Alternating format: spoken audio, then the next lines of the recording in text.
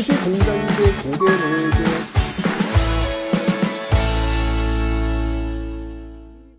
자 먼저 예 왕들을 한번 사- 살펴봐야 되겠죠.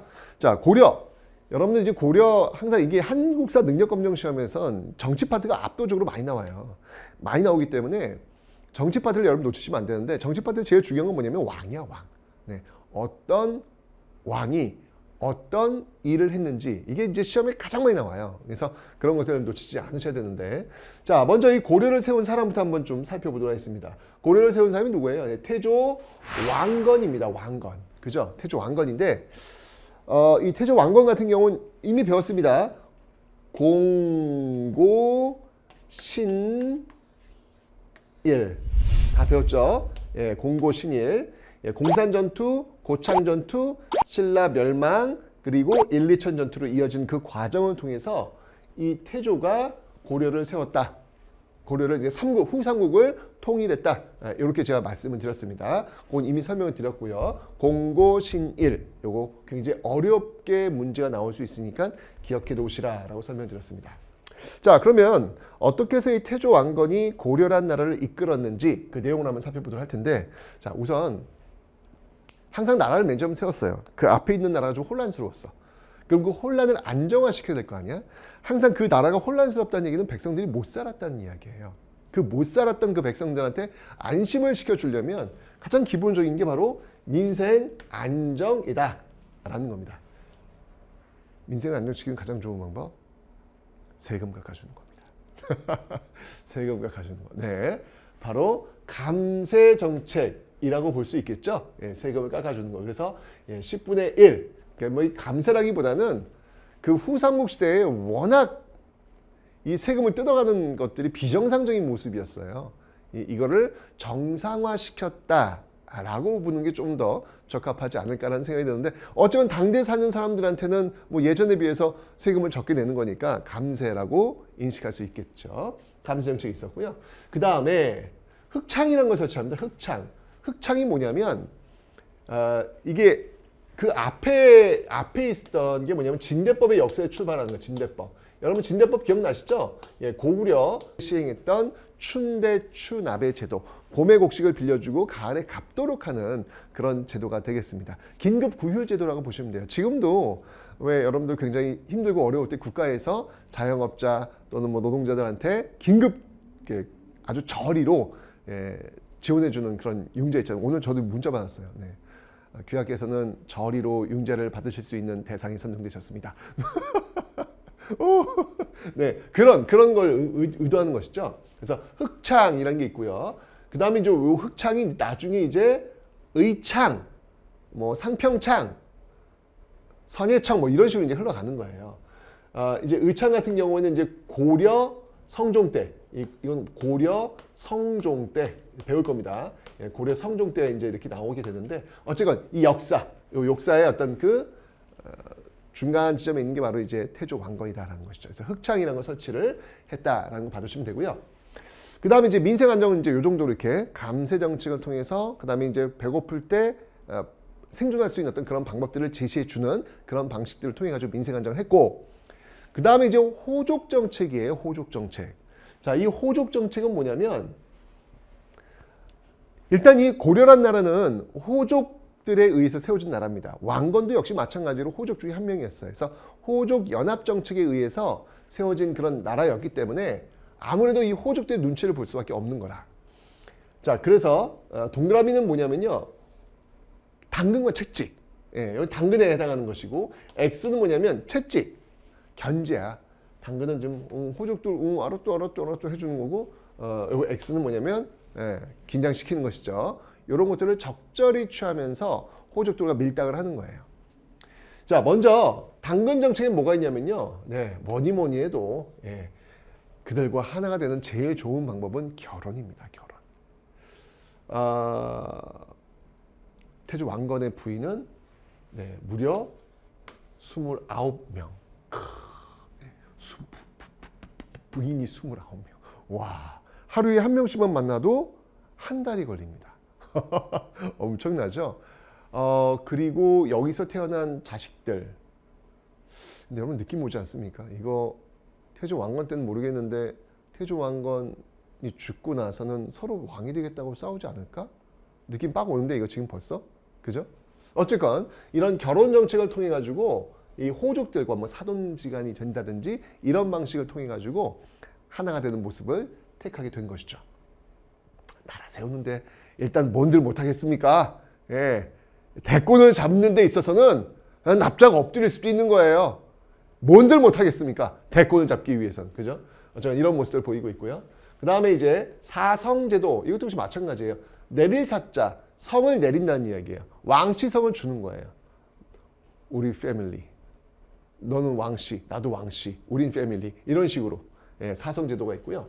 그 다음에 이제 이런 결혼과 사성 말고 실질적인 경제적 혜택을 주는 게 있어요. 이게 뭐냐면 역분전이라는 겁니다. 역분전. 역분전은 뭐냐면 그 역할에 따라서 나눌 분자, 나누어 준 토지라는 의미가 되겠습니다. 그러니까 개국 공신들의 그 역할들, 공로가 있을 거 아니에요. 그 공로에 맞춰서 토지를 지급한 거죠. 자, 여러분 여기서도 역시 마찬가지야. 내가 이야기했어. 토지를 지급했다는 의미는 그 토지 소유권을 준 게 아니라고 제가 설명드렸습니다. 그 토지에서 세금을 거둘 수 있는 권리 똑같아요. 앞에 제가 그 관료전과 노급 설명하면서 설명드렸잖아요. 역분전도 역시 마찬가지예요. 하여튼 제가 관리들한테 주는 토지라고 하는 개념은 무조건 다 수조권 개념이에요. 소유권 개념은 하나도 없어. 아셨죠? 예, 그 소유권 개념은 앞에 설명했던 그 정전, 민전 그거 외에는 없습니다. 다 수조권 개념이에요. 어쨌건 이런 역분전을 지급했다. 당연한 거죠, 여러분들. 나라 세우는데 도움을 줬으면 그래도 합당한 뭔가 줘야 될 거 아니야. 그죠? 그래서 이렇게 결혼, 사성, 역분전 이와 같은 어떤 모습들을 보이고 있어요. 자, 이게 바로 당근에 해당하는 정책들. 그러나 이렇게 그냥 퍼주기만 할 수는 없잖아요. 밀당을 해야지. 긴장감을 줘야지. 이게 X! 바로 사심관 제도라는 것을 또 시행을 합니다. 어, 사심관이라고 하는 건 뭐냐면요. 어, 그 지역의 사심관을 정해서 호족들한테 너 이 지역의 사심관 네가 해라. 어, 네가 여기 다, 여기 책임져라. 연대 책임을 묻도록 하는 거예요. 그러니까 그 지역을 너한테 맡길 테니까 너가 알아서 해. 조건이 있어 대신. 만약 여기서 반란이 벌어지면 너가 책임지는 거야. 아, 이렇게 연대 책임을 주는 것이죠. 그 첫 번째 그 사심관의 대표적인 인물이 바로 김부라는 인물입니다. 김부 누구예요? 예, 바로 신라의 마지막 왕 경순왕. 이 경순왕에게 신라의 수도였던 경주 있잖아요. 그 경주의 사심관을 줍니다. 아, 너 여기서 어, 사심관 해. 사고 터지면 네가 책임지고 뭐 이런 식으로 보여준 것이죠. 그래서 이런 어떤 모습들이 있었다라는 기억하시면 되고요. 그 다음에 이제 기인제도라는 게 있습니다. 이것도 제가 앞에 설명드렸어요. 그 상수리 제도. 제가 문무왕 할 때 통일신라 문무왕할 때 제가 상수리라는 설명을 좀 드렸던 기억이 납니다. 인질 제도예요. 근데 상수리가 어, 유력 세력을 직접 경주에 데려와서 묵게 한다면 이 기인 제도는 그 유력 세력의 자식들, 그 자식들을 고려 수도 개성에 데려오도록 하는 것. 아, 이걸 이야기하는 겁니다. 네, 그래서 이런 호족 정치들 밀당, 예, 당근과 채찍을 어, 번갈아 주면서 어떻게든 이 호족 연합 정권 제가 이야기했지만 이 호족 연합 정권이에요. 이 연합 정권을 유지하려고 노력했다. 왕권은 강하진 않습니다. 예. 왕건도 역시 마찬가지 호족의 일원으로서 나라를 세웠기 때문에 여러 호족들을 지금 배려해야 되는 그런 상황이었다라는 것이죠. 자 그런데 에, 이뿐만 아니라 민생안정 호족 정책뿐만 아니라 북진 정책이라는 걸 취합니다. 여러분들 고려라는 나라 그 나라 이름이 뭐랑 비슷해요? 고구려와 비슷하잖아요. 그죠? 그러니까 이 고려란 나라는 고구려의 영향을 받은 그런 국호입니다. 왜냐면 옛날에 고구려를 고려라고도 불렀거든요. 어, 계승한 어떤 차원에서 고구려의 수도가 어디였어요? 장수왕 때 평양으로 천도하면서 평양이 수도였잖아. 당연히 당연히 평양, 이 평양을 중요시 여길 수밖에 없겠죠. 자, 그러면서 이 고려는요, 이 태조 왕건은 북진 정책을 추진하면서 어, 우선 이제 발해 유민들을 적극적으로 수용하는 모습도 보이고요. 왜냐면 발해는 이제 고구려 후손들이 세운 나라이기 때문에 그 고구려 후손들이 세운 이 발해를 고구려를 계승한 고려가 당연히 흡수한다. 이런 어떤 정신 속에서 발해 유민들을 적극적으로 수용하고 있고요. 그 다음에 서경을 중시합니다. 서경은 제가 아까 설명드렸던 바로 평양이 되는 거예요. 평양. 계속해서 이 북쪽으로 북쪽으로 고구려 영토의 그 확보를 어, 다시 한번 그 확보를 위해서 북쪽 북쪽으로 올라가는 어떤 그런 모습들. 그래서 영토를 어디서 어디가 있냐면 청천강에서 영흥 지역까지 영토를 넓히는 그런 모습들을 보이고 있더라라는 거. 요게 바로 이제 민생 안정, 호족과의 밀당, 아, 그다음에 북진 정책. 요게 태조 왕건의 대표적인 정책들이라고 보시면 되겠습니다.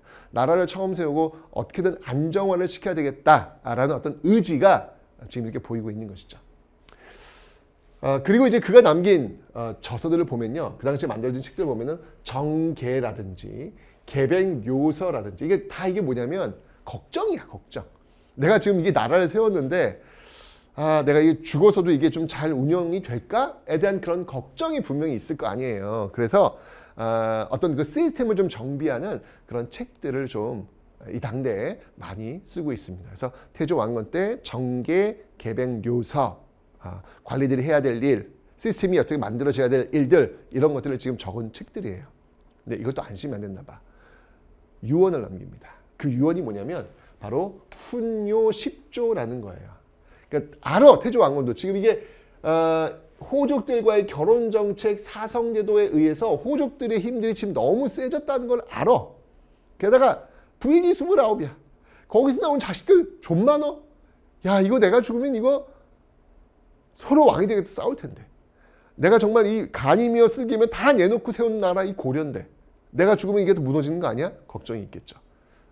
그래서 후녀 10조 예, 유언이죠. 유언 비슷한 것을 남겨놓습니다. 그래서 왕위 계승은 누가 해라 뭐 이런 것들 어떤 원칙에 의해서 해라 뭐 이런 것들을 다 적어놓은 내용들이 후녀 10조에 적혀 있더라라는 거 받으시면 되겠습니다. 자, 이게 이제 태조 왕건이에요. 어쨌건 어, 고려란 나라가 그 앞에 있던 시대와 다른 이유는 뭐냐면 왜 중세라고 하냐면 고대는 고대는 폐쇄적 신분제 대표적인 골품제도죠. 그죠?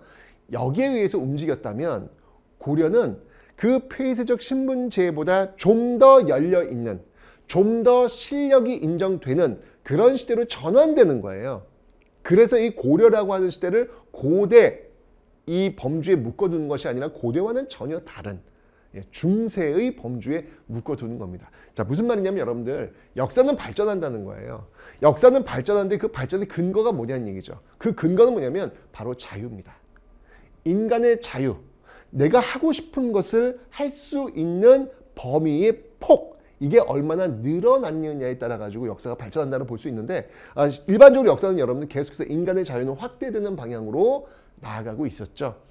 그게 이 태조 왕건이 세웠던 이 고려란 나라가 그 앞에 있던 신라보다 질적으로 달라졌기 때문에 중세라고 하는 좀 더 발전된 개념의 시대로 규정을 하고 있다라는 거. 이게 바로 이제 중세 고려의 태조 왕건의 어떻게 보면 역할이라고 볼 수 있겠죠.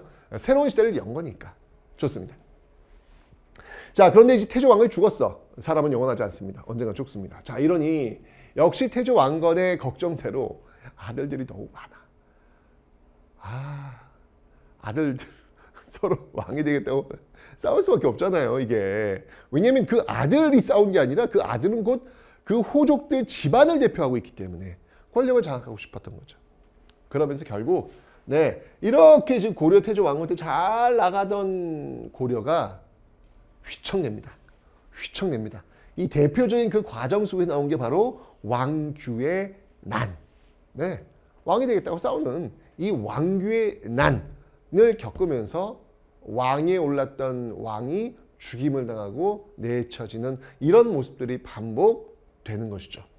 자, 그런 과정에서 그런 과정에서 광종이라고 하는 인물이 등장을 합니다. 자, 이제 우리는 광종을 좀 주목할 필요가 있습니다. 한국사 능력검정 시험에서 제일 시험 문제 많이 나오는 왕. 고려 시대 하면 고려 전기의 광종. 제일 시험에 많이 나와요. 고려 후기의 공민왕. 그러니까 이 광종과 공민왕은 정말 시험에 너무너무 많이 나오는 사람이에요. 그래서 꼭 좀 주목을 해주셔야 되겠습니다. 근데 왜 광종이 중요할까? 이유는 간단해요. 어, 사실 그 앞에 있었던 태조 왕건, 네, 호족 연합 정권에 의해 가지고 굉장히 왕권이 미약했잖아. 이것을 왕권 강화로 돌려놓았던 인물이 바로 광종입니다. 야 서로 왕이 되겠다고 막 싸우는 과정 속에서 왕권은 지금 막 무너지고 있는데 그것을 다시 다시 왕권 강화로 만들어 놓았던 인물이 바로 광종이라는 이야기예요. 어, 되게 무서운 사람이에요. 그 광종도 안 거죠. 내가 이거 자칫 잘못하면 어, 호족들에 의해서 죽임을 당할 수 있다는 것을 아는 것이죠. 그래서 집권하고 나서 7년 동안 아무것도 안 해요. 그냥 책만 봅니다. 아무것도 그냥 호족들이 하라는 대로. 음 그렇게 하시오 도장꽝 이렇게 보면서 어, 되게 힘없는 약해 보이는 이런 모습들을 일부러 지은 것은 아닐까라는 그런 생각이 듭니다.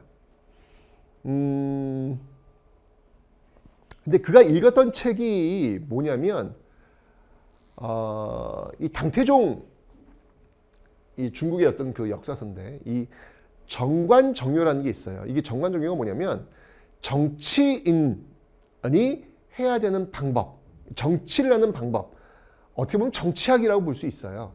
이걸 끊임없이 끊임없이 연구를 7년간 한 것이죠. 이건 어찌 본다면 아까 제가 아, 앞에서 이야기했던 저의 비전을 제가 한번 공유를 했었는데 광종 나름대로의 그 비전을 7년 동안 계속해서 연구한 것은 아닐까라는 생각이 듭니다. 자 그러면서 7년이 지나고 호족들이 어느 정도 이 광종에 대해서 의심을 좀, 예, 좀 이렇게 내려놓은 그 시점이 되었을 때 본격적으로 이 광종은 개혁의 고삐를 쥐게 됩니다. 그 첫 번째 신호탄이 뭐였냐면요. 바로 노비 안건법이라는 거예요. 너무너무 중요합니다. 노비 안건법이라고 하는 건 뭐냐면 노비, 노비들을 안검하는 거예요. 예, 자세히 들여다보면서 검사하는 거예요. 무슨 말이냐면 여러분들 이 후삼국 시대에 호족들이 자신들의 어떤 세력을 확보하기 위해서 군사력을 가지고 있었을 거 아니에요. 그죠? 그 군사력은 어디서 나오겠어? 자기 사람들이니까. 이거 그 노비들 이런 사람들도 이제 군사력으로 전환될 수 있잖아요. 내가 내가 운영할 수 있는 사람들이 돼야 되니까.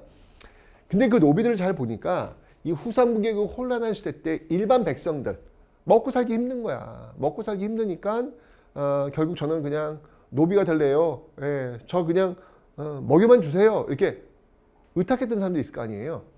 불법적으로 노비가 된 사람들, 그 사람들, 그 사람들을 조사해가지고 안검해가지고 다시 양인으로 돌려놓는 거예요.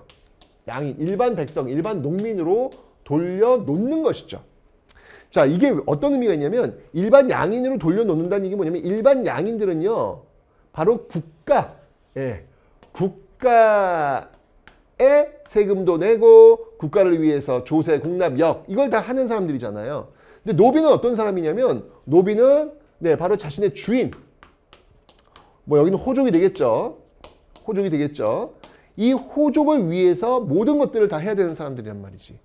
그러니까 이 노비를 호족에서 떨어 떨어뜨리는 거예요. 국가 소속으로 이제 돌려놓는 것이지. 원위치를 돌려놓는 것이지. 이렇게 되면 노비 안건법을 시행하면 호족들의 힘, 특히 군사력은 약화될까 강화될까? 당연히 약화되겠죠. 그걸 노린 거예요. 그래서 이 노비를 양인으로 돌려놓겠다. 명분도 좋잖아. 국가 재정 확보를 위해서. 어. 왜냐면 이 노비들은 국가에다 세금을 내는 사람들이 아니거든. 하지만 양인들은 국가에 세금을 내는 사람들이거든. 국가 재정 확보를 위해서. 아, 명분도 좋잖아. 노비안검법을 시행한 거예요. 어우 이게 호족들이 뒤통수한테 제대로 맞은 것이지. 어, 조용히 아무것도 안 하는 물에 물 탄 듯 술에 물 탄 듯 허약한 왕일 줄 알았는데 갑자기 노비안검법이라는 카드를 들고 나온 거야. 이게 뭐지? 약간 의심하기 시작. 그런데 여기에 그치지 않아요. 두 번째 개혁의 신호탄을 쏘아댑니다. 그게 뭐냐면 바로 과거제였습니다. 과거제. 자, 이 과거제는 여러분들 어, 쌍기, 쌍기 이게 중국인이에요, 여러분들. 어. 쌍계그 건의에 의해서 시행이 된 건데 이 과거제가 어떤 의미가 있냐면 여러분 기억나요? 통일신라 말기에 원성왕이 시행했던 제도가 있었어요. 그게 뭐냐면 독서 삼품과였습니다. 네, 원성 엄청 들었다고 제가 얘기했잖아요. 그죠? 네. 아니 그 귀족들한테 그 공부해서 시험 봐가지고 독서하게 한 다음에 그 품계를 이렇게 나누겠다는 거 귀족들이 좋아하겠어요? 결국 실패한다고요. 그 제도를 다시 시행하는 거예요. 쌍의 건의에 의해서. 자, 이제까지는 여러분들 칼 들고 서로 싸우면서 호족들이 힘을 과시했다면 이제 그만, 이제 그거 그만. 칼 그만 들어. 어, 이제 칼 대신 뭘 들어? 붙들어. 붙들고 공부해. 라고 이야기하는 거잖아요.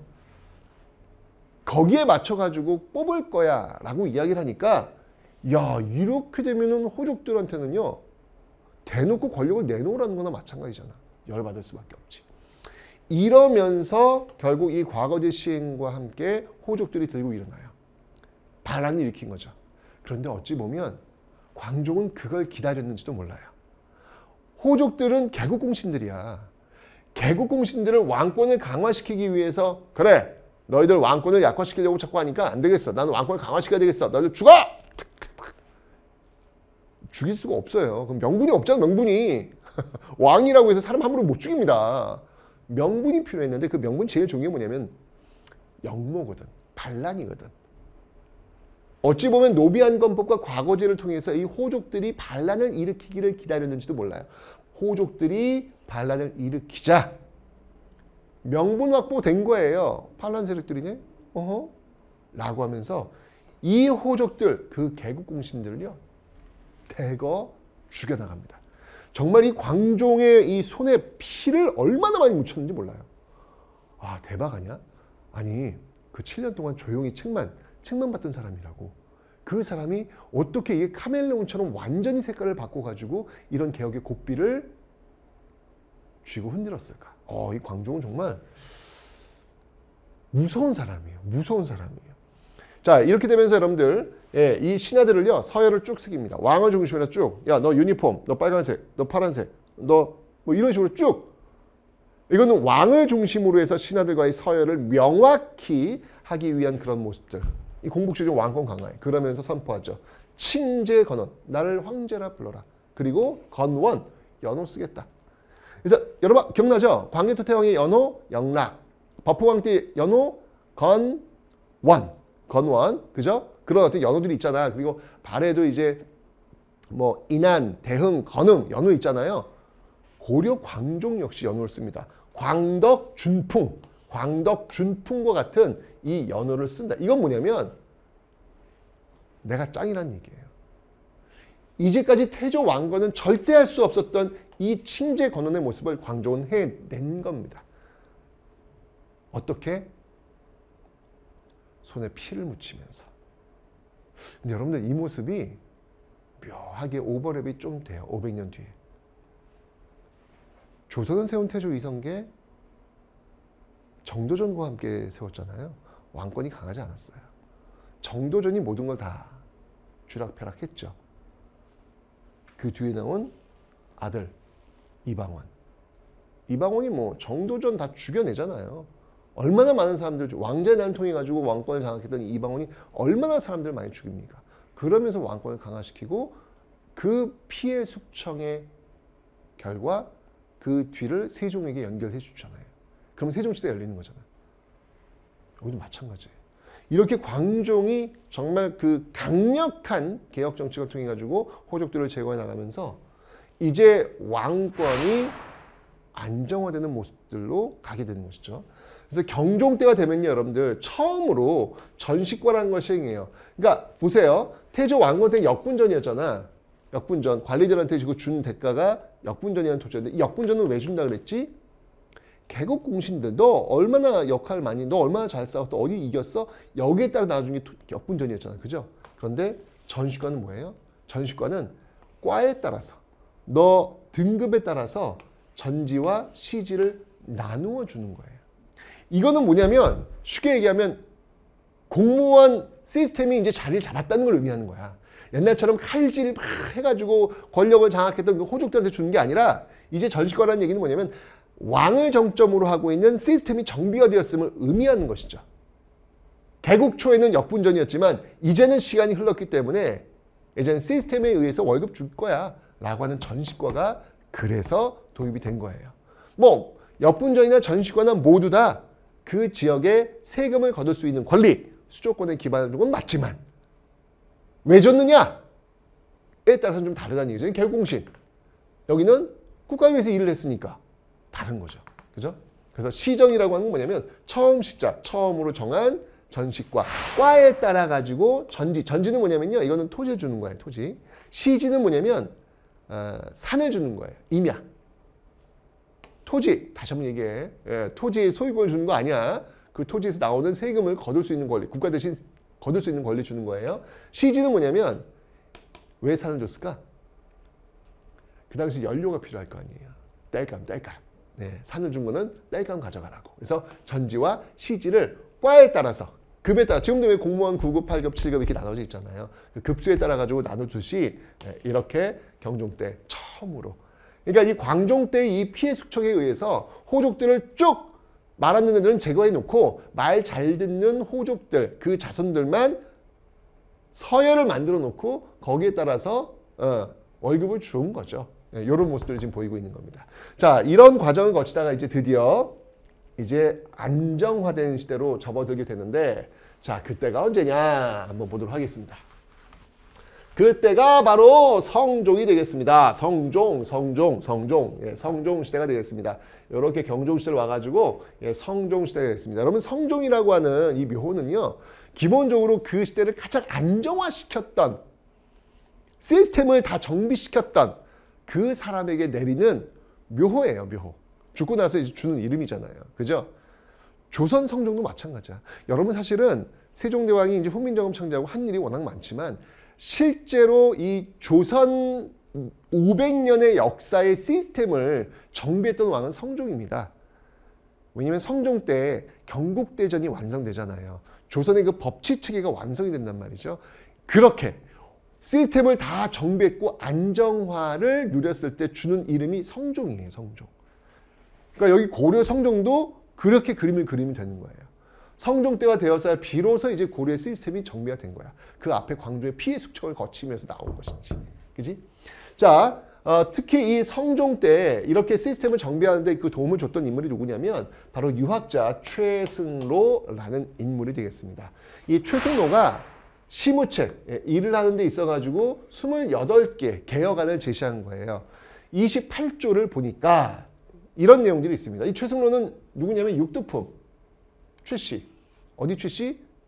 우리 할아버지예요. 네. 연결되잖아. 최치원. 최치원의 후손이에요. 이렇게 연결되는 거예요. 근데 여러분 보세요. 최치원도 분명히 진성 여왕에게 진성 여왕에게 시무책을 올렸어요. 신라 말기에. 그죠? 그런데 이때 최치원의 시무책은 받아들여지지 않아요. 그런데 이제 이건 신라 시대였고 고려 시대로 왔단 말이야. 고려 시대로 오니까 이 최승로가 건의를 했다고 성종한테 시무책 28조항을 근데 이건 받아들여지는 거예요. 자, 왜 이 시대가 고대고 왜 이 시대가 중세인지를 이런 데서도 알 수 있는 거예요. 이 당시는 골품에 의해서 경주 김씨들 그들이 다 모든 것들을 주도하는 어떤 그런 모습들이었다면 이제 이 시대는 왕씨뿐만 아니라 최씨뿐만 아니라 김씨뿐만 아니라 폐쇄적인 골품제 사회가 아닌 좀 더 열려있는 사회 그 사회를 운영하는 어, 세력들이 좀 더 다양화된 시대로 접어들었음을 의미하기 때문에 우리는 이 시대를 중세라고 부르는 겁니다. 다른 거예요. 여기서도 단적으로 좀 보여지고 있는 것이죠. 그래서 예, 시무 28조를 어, 올렸는데 유학자입니다. 유학자. 어, 성종에게 올린 그 여러 제안들 중에서 대표적인 뭐냐면 외관을 파견하소서라는 말이 있어요. 외관. 외관. 이 외관이 뭐냐면 바깥 외자예요. 예. 바깥을 관리하는 관리. 바로 지방관 거예요. 지방관. 외관을 파견하소서. 그러니까 이게 뭐냐면 보세요. 각 지역에 또아리를 틀고 있었던 세력들이 누구야? 고려시대 때. 그게 호족이라고요. 근데 그 호족들이 광종의 숙청 작업에 의해서 제거가 되었어. 각 지역이 지금 비어 있을 거 아니야. 그 세력들이. 그 지역들의 중앙에서 왕이 뽑은 지방관들을 파견하라는 이야기예요. 그래서 지방 지방 지방 권력을 장악하라는 의미가 되겠습니다. 그러니까 이게 이제 광종의 숙청 작업이 있었기 때문에 이런 것들이 가능해진 것이죠. 그래서 외관을 파견하소서, 지방관을 파견하소서 이런 이런 건의를 한 것이죠. 그래서 지방 12개, 12개 지방에 12목, 12개 지방에 뭐 부 목, 군 현 뭐 이렇게 단위가 있어요. 지금도 왜 뭐 동, 무슨 동, 뭐 면, 읍, 음, 면, 동 뭐 이런 게 있잖아요. 그 당시도 있는, 있는 거예요. 12개의 어떤 그 지방에 지방관을 파견하게 됩니다. 12목. 물론 이제 이 12목은 나중에 이제 아직은 지금 5도 양계가 정비가 안 됐거든. 이제 나중에 이제 5도 양계로 이제 바뀌게 될 거지만 그 전 단계 12개 12목의 지방관을 파견하게 됩니다. 그리고 중앙은요 이제 이성 육부 체제 요거 이제 제가 나중에 설명드릴 거예요. 이성 육부 체제로 이제 왕을 중심으로 해서 행정 조직이 어떻게 만들어지는지 요게 딱 이제 세팅이 되는 겁니다. 지금도 왜 대통령 이하에 뭐, 뭐 여러 부처들이 있잖아요. 예, 그런 것처럼. 이 당시도 왕을 중심으로 해서 여러 부처들 행정 부처들을 만들고 있는 모습들이 나타나고 있다. 이건 성종이에요. 시스템이 정비가 된 거야 그리고 유학자다 보니까 이 최승로가 이제 뭘 권유하냐면 연등회를 줄이고 팔관회를 요거 좀 안 했으면 좋겠다라는 건의를 하는 것이죠. 연등회라고 하는 건 뭐냐면 연등회는 네. 왜 부처님 오신 날 이렇게 등 들고 이렇게 막 이렇게 연등이 막 걸리잖아요. 그죠? 이런 거 너무 많이 하지 말. 좀, 좀 줄여라. 라고. 이건 너무 국가 낭비다. 라고 하는 것이죠. 왜냐면 최승로가 유학자예요, 유학자. 유학자니까 불교의 행사에 대해서 이렇게 적극적으로 지원할 마음 별로 없는 거예요. 그래서 물론 이제 고려가 불교의 나라니까 뭐 하긴 하겠지만 아, 좀 규모 좀 줄여라. 이제 이런 얘기를 하는 것이죠. 이 팔관에는 또 도교 행사입니다. 도교 행사. 도교 행사. 이런 것들도 좀 문제가 있는 것 같다라고 지적을 하는 것이죠. 예, 잘 보시면 알겠지만 이거 나중에 조선시대도 여러분들 조선시대 이제 개혁가가 등장해요. 조광조라는 인물이 등장하는데 이 조광조 역시 사실 요와 성격이 상당히 유사한 소격서라는 게 있어요. 소격서. 하늘에 제사를 지내고 뭐 이런 건데 이 소격서 폐지를 들고 나와요. 조광조 유학자 아니야. 그죠? 유학자들은 이제 본능적으로 뭐냐면 눈에 보이지 않는 건 믿지 않는다예요. 유학자들은. 그러니까 뭔가 어디다가 뭐 어느 대상에다 제사를 하고 뭐 이런 거 별로 좋아하지 않아요. 예, 그래서 어, 고려의 최승로도 역시 마찬가지로 팔관에 이거 문제 있다 지적을 하는 것이고 조선의 조광조 유학자 역시 마찬가지로 하늘의 제사를 지내는 그 관청 그걸 관리하는 관청 소격서 폐지를 들고 나오게 되는 겁니다. 다시 한번 유학자들은 눈에 보이는 건 믿지 않는다. 여기 핵심이에요. 그리고 나중에 여러분들 그 김부식 유학자잖아요. 김부식이 쓴 삼국사기에 바로 이 원리가 적용이 돼요. 눈에 보이지 않는 건 적지 않는다. 그래서 뭔가 신기한 거. 예를 들면 이런 거죠. 우리 할머니가 곰이야?